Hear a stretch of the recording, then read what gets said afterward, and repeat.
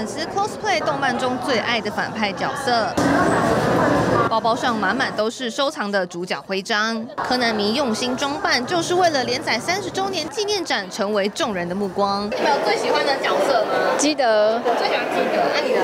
呃，新一吧。呃，都都很喜欢。我觉得是那个清酒的小弟伏特加，也就黑色西装，然后配那个酒红色衬衫。主办单位表示是百分之百还原日本当地的巡回展，还有作者青山刚昌特地送给台湾粉丝的亲笔签画。基本上里面展览的部分、原画部分都有看到，还蛮蛮满足的这样子。对，影片也很不错，然后还有那个。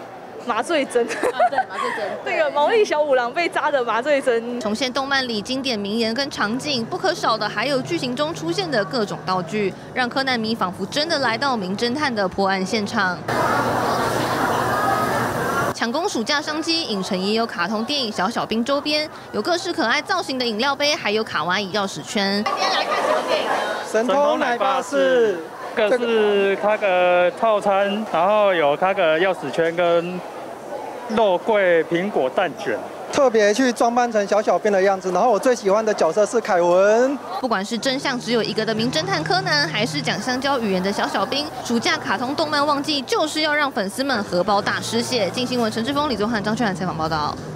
立刻下载静新闻 App，一手掌握新闻时事，尽善尽美，尽好新闻。